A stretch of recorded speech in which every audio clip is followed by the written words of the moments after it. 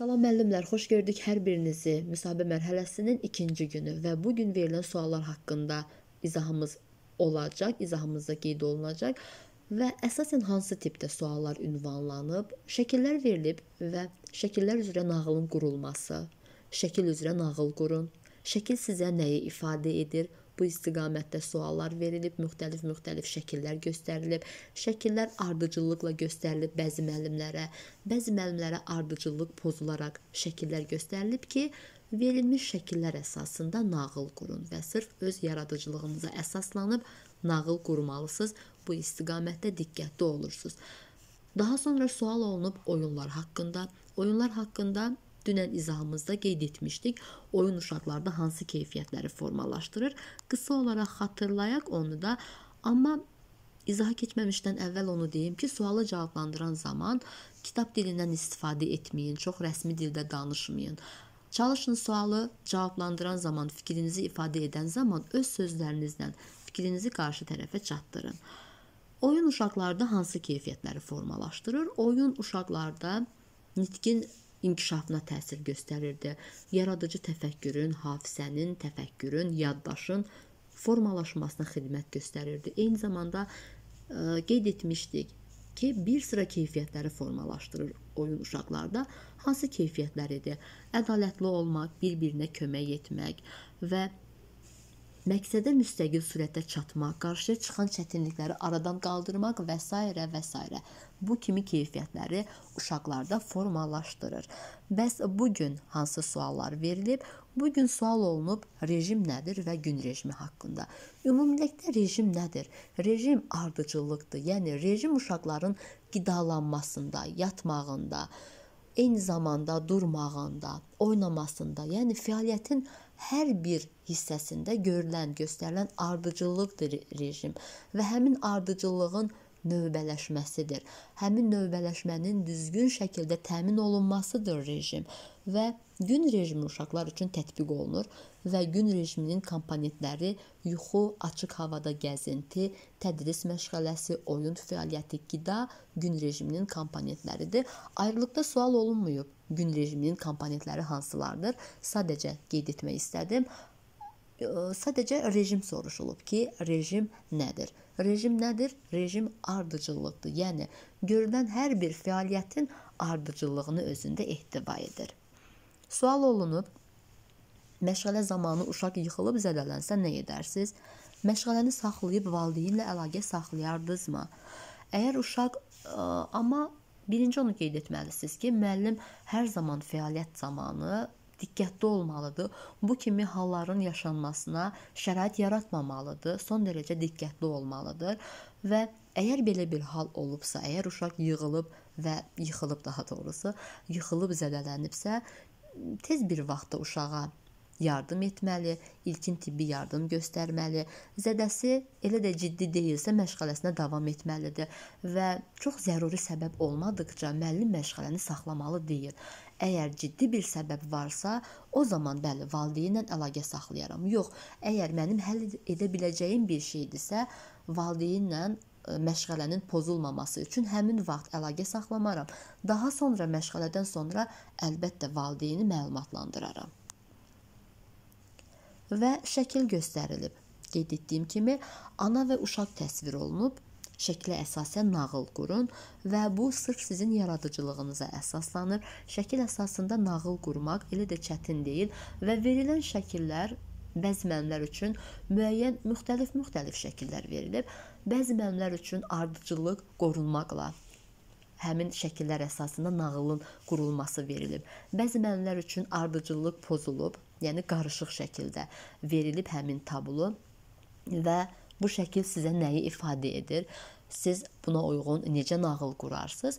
Yenə də dediyim kimi şəklə əsaslanıb hər bir müəllim öz yaradıcılığına əsaslanıb nağıl qurmalıdır. Sual olunub, uşaqları zooparka aparmısınız? Uşaqlar heyvanları görüb qorxur, qışqırır, ağlayır. Onları necə sakitləşdirir? Sakitləşdirərsiniz. Ümumiyyətlə qeyd etməlisiniz ki, əgər uşaqları zooparka aparmaq məqsədim varsa, mən o işimi planlı şəkildə quraram və zoopark haqqında, uşaqların qarşılacağı, qarşılaşacağı mühit haqqında əvvəlcədən onları mən həmin mühitə hazırlaşdıraram.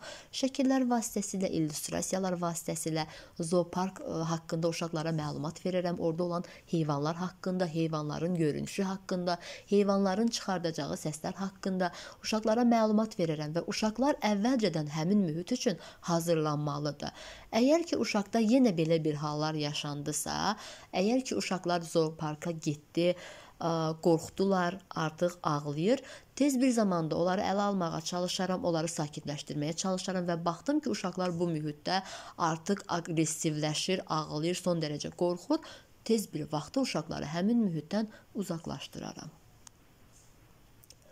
Və növbəti sual məşğələ zamanı rəhbərlik gəlib məşğələni ə, e, oturub məşğələnizdə olmalıdır. Məşğələnizdə oturub birdən video rolik dayandı, nə edərsiniz?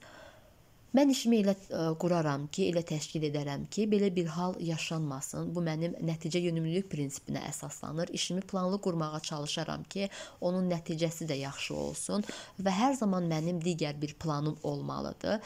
Məşğələyə başlamamışdan əvvəl videorolikdir, proyektordur. Mən onları bir daha nəzərdən keçirdərəm.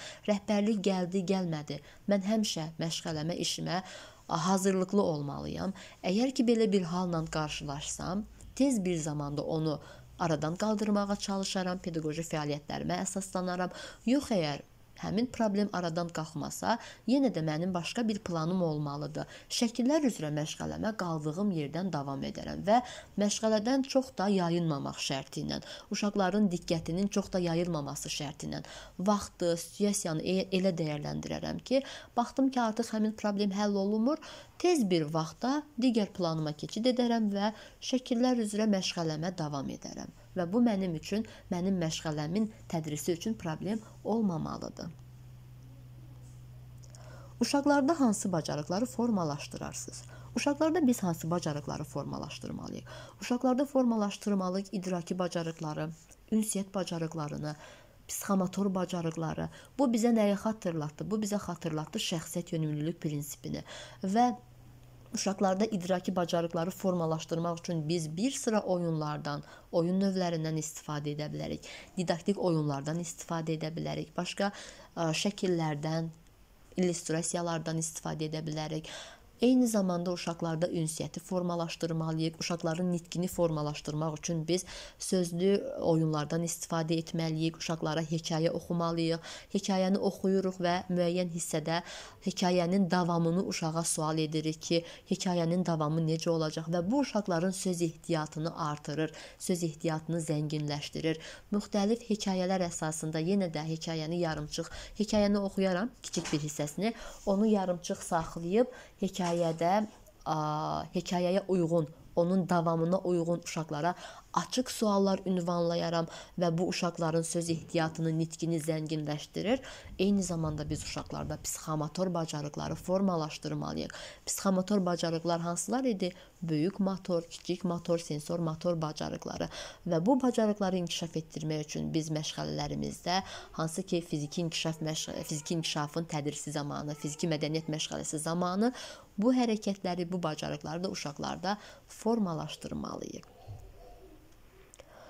Başqa uğurunuz nə olub? Belə bir sual ünvanlayıblar. Əgər ki uğurunuz varsa, elə universitet illərində ya da ki universiteti bitirmisiniz, ondan sonra pedaqoji fəaliyyət istiqamətində olsun, müəyyən qatıldığınız layihələr olsun, müəyyən uğurlarınız, nailiyyətləriniz varsa, onları çəkinmədən qeyd etməlisiniz.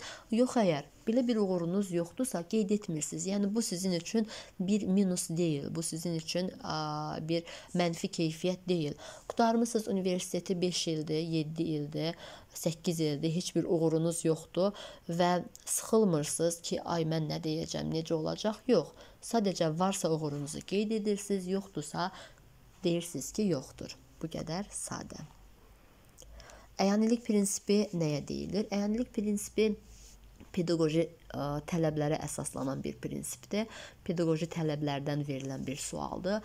Əyanilik prinsipi nədir? Əyanilik prinsipi məktəbəqədər təhsil müəssisəsində uşaqların öyrənməyə olan marağını stimullaşdırmaqdır və onların öyrəndiklərinin daha keyfiyyətli mənimsənilməsinə şərait yaratmaqdır. Biz uşaqların öyrənməyə olan marağını necə stimullaşdırırdıq? Motivasiya qurmaqla biz stimullaşdırırdıq və motivasiyanı biz necə qura bilərdik? Motivasiyanı qurmaq üçün də müxtəlif vasitələrdən, müxtəlif fərziyyələrdən, müxtəlif yollardan istifadə edə bilərik. Əyani vəsaitlərdən istifadə edə bilərik ki, uşaqlar məşğələyə, dərsə cəlb olunsun. Və bunun məqsədi nədir? Əyanilik prinsipinin məqsədi odur ki, öyrəndikləri uşaqlar üçün daha, yəni öyrəndiklərinin daha keyfiyyətli mənimsənilməsinə şərait yaradır məhz əyanilik prinsipi. Sual olunub, valideynlə dəfələrlə valideynə daha doğrusu dəfələrlə müraciət edirsiniz ki, uşağı götürün. Amma valideyn gəlmir. Nə edərsiniz? Valideyni gözləyərsinizmi? Əlbəttə ki, gözləyərəm və mütləq səbəbə baxılmalıdır. Bəlkə valideynin tutarlı bir səbəbi var gecikib. Əlbəttə səbirlə gözləyərəm valideyni və empatiya qurmağa çalışaram ki, valideynin gecikmə səbəbi nədir? Özümü valideynin yerinə qoyaram. Səbirlə gözləyərəm. Xahiş edirəm ki, bir daha bu hal ə, təkrarlanmasın. Əgər israrla bu hal təkrarlanırsa, ə, yəqin ki, rəhbərliyə müraciət edərəm. Amma dediyim kimi, yenə də öz aramızda razılaşmağa çalışaram, valideynlə əməkdaşlığa əsaslanaram, əməkdaşlıq edərəm. Əgər tutarlı bir səbəbi varsa, yenə də valideyni başa düşərəm. Müəyyən qədər güzəşt olunmalıdır və güzəştə gedərəm. Yox, əgər e, tutarlı səbəbi yoxdursa, valideyn bilərəkdən ya məsuliyyətsizlikdən, ya səhlənkarlıqdan gecikirsə, əlbəttə rəhbərliklə bu məsələ haqqında danışaram.